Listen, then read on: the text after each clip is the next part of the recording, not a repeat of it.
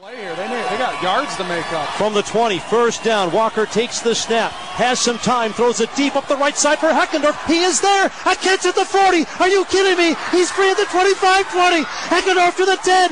He's in. A touchdown for the Bison. Heckendorf scores it. The Bison are on their way to a possible comeback win at Cal Poly. My, oh my.